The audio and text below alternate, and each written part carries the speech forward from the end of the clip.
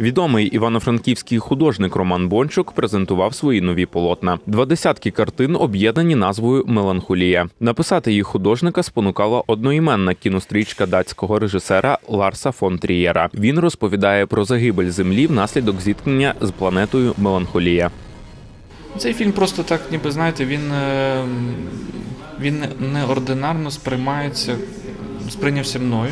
І, і от е, спілкуючись з іншими людьми, так, така ж сама була е, реакція і е, такий, знаєте, провал, тобто і злість внутрішня, і е, такий бунт всередині, чому людина дозволяє собі це знімати, це по-перше.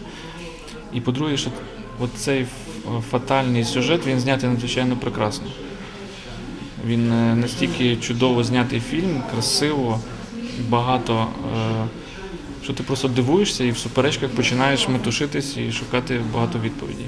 Автор вже відомий своєю резонансною творчою роботою Мегаісторія України. Полотно загальною площею 150 квадратних метрів містить понад тисячу портретованих осіб. Художню серію Меланхолія автор до жодного з існуючих напрямів не відносить. каже, репрезентовані картини суміш різних творчих стилів і технік. Кожен глядач може називати їх на власний розсуд. Ідея виношувалась, а робот було зроблено надзвичайно багато, просто відібралось найкраще. Робот було, чесно вам кажу- кажучи, то було дуже багато. Більше ста робіт було зроблено. Самі вдалі вони виставлені сьогодні тут.